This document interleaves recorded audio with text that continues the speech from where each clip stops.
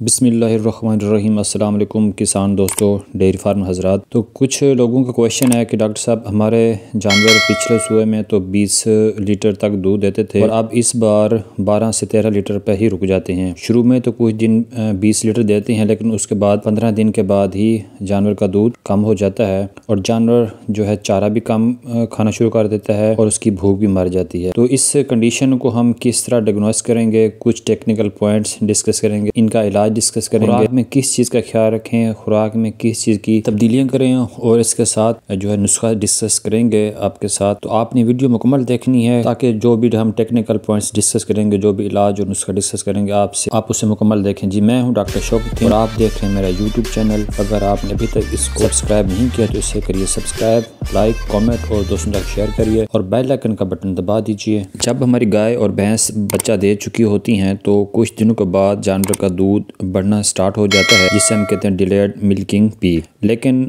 कुछ जानवरों में ये प्रोसेस नहीं होता, जानवर का दूध नहीं बढ़ता। इसके पीछे बहुत सी टेक्निकल वजूहत हैं रीज़न है, सबब हैं। तो हम उनको एक एक करके डिस्कस करेंगे। जब आपका जानवर दूध नहीं बढ़ा रहा होता तो आपने सबसे पहले उसके दूध में फैट परसेंटेज चेक करनी है। अगर फैट परसेंटेज कम हो गई है, जैसे अगर गाय चार से नीचे, यानी तीन इशारिया पाँच या तीन इशारिया दो हो गई है, या भैंस की छः से कम हो गई है तो मतलब ये प्रॉब्लम स्टार्ट हो गया है। उसके बाद आपने जानवर का गोबर चेक करने फीसेस चेक करनी है। अगर फीसेस पतला है डायलूटेड है और उसका रंग भी स्याह है डार्क है या फीसेस में अनडजस्टेड ग्रेन आ रही हैं मतलब जो भी आप जानवर खुराक दे रही हैं ड्राई मट दे रही, दे रहे हैं, मकई दे रही हैं या आप ज्वार बाजरा दे रही हैं या गंदम दे रही हैं तो उसके आप फीसेस में देखेंगे वो जो बीज हैं वो जो ग्रेन्स हैं वो साबित आ रहे होंगे मतलब अनडिजस्टेड होंगे मतलब वो बग़ैर हज़म वाले दाने होंगे। इसके बाद आपने अपने जानवर को चला के देखना है उनके खुर उनके पैर चेक करने अगर उनमें लंगड़ापन है लेमनेस है तो समझ लें कि ये कंडीशन स्टार्ट हो गई। इसके बाद आपने अपने जानवर की जुगाली जो है चीविंग चेक करनी है। अगर वो भी आ, मतलब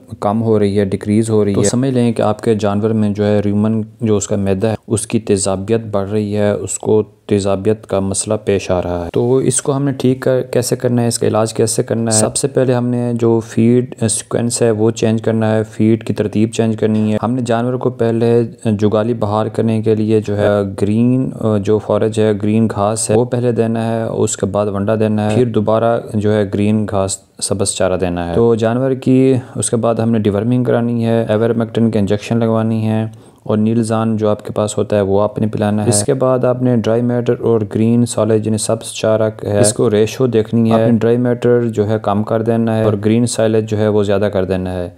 यानी इसकी जो रेशो है वो फोर्टी सिक्सटी कर लेनी। मतलब आपने ड्राई मैटर जो है, वंडा वगैरह जो है, इसका मतलब ये है कि आप जो जानवर को ड्राई मैटर्स दे रहे हैं ग्रेन्स दे रहे हैं, मकई दे रहे हैं, दाना दे रहे हैं या वंडा दे रहे हैं, वो चालीस परसेंट कर लें और जो सब्स चारा है, वो साठ परसेंट कर लें। इसके बाद हम जानवर को जो है डेली मीठा सोडा देंगे ताकि जानवर की जो पीएच है, वो इंक्रीज हो जाए। इसके अलावा हम जानवर को यीस्ट भी देंगे ताकि जानवर का जो हाजमा है, वो ठीक हो जाए और फैट की परसेंटेज भी बढ़ जाए। तो यीस्ट की जो आप मकदार, अगर प्योर फार्म में आपके पास यीस्ट है तो आपने इसको 10 से 15 ग्राम डेली यीस्ट देनी है। तो अब आते हैं हम एक देसी टोट के देसी नुस्खे के पास, जिससे जानवर का जो है दूध बढ़ेगा। जानवर जब बच्चा देता है, उसके 12 से 18 दिन के बाद जब वो मेला वगैरह छोड़ देता है, साफ़ हो जाता है, लेकिन उसकी दूध की मकदार नहीं बढ़ रही होती तो उसके लिए जो नुस्खा है, उसके जो अज़ा हैं, वो आप ज़रा नोट कर लें।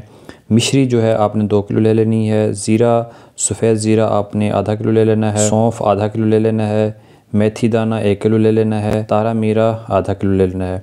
ये टोटल हो गया आपके पास साढ़े चार किलो। ये साढ़े चार किलो आपने जानवरों को तेरह दिन खिलाना आप इसके बनाने का तरीका देख लेते हैं और खिलाने का तरीका देख लेते हैं। तो इन तमाम चीज़ों को आपने ग्राइंड करना है अच्छी तरह।